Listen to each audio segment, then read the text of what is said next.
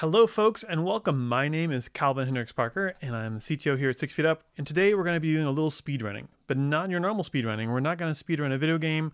We're going to speed run setting up a development environment.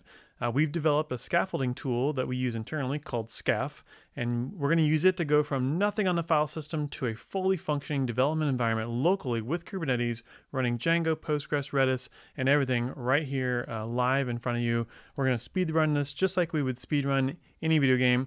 So what we're going to do is just to show you that there's nothing going on. Uh, there are no files or folders in this directory where I'm starting this from. I'm going to run my scaf command and create a new project called speedrun and I'll start my timer and hit return and then we'll be in the running in the race. We'll see how fast we can run this thing. Uh, it's going to use Cookiecutter behind the scenes. It's going to ask us a bunch of questions, which should have sensible defaults. Luckily, they do, so I can actually go through them real fast.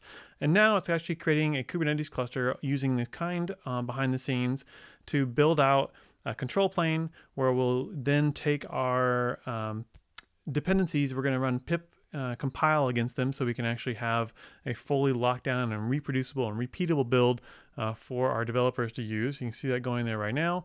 Uh, we should get the little animation and now when we go into that directory, speed run and run tilt up, we should, I'll fire up a browser here, you can see that's running uh, the backend services and everything are kind of starting up right now.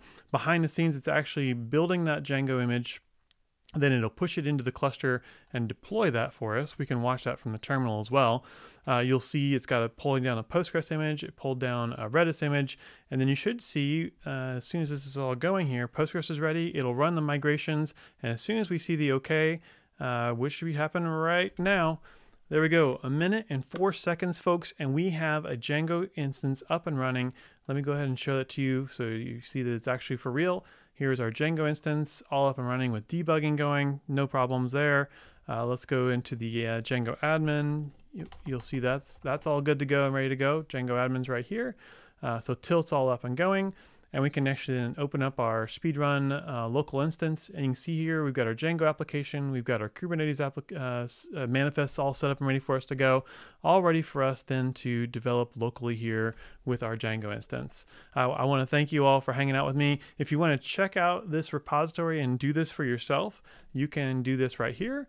Uh, just go to github.com slash six feet up slash scaf and there'll be some installation instructions. Uh, it should be a one-liner, copy paste, as long as you've got Docker desktop. In this case, I'm using Orb Stack for my uh, developer environment with containers.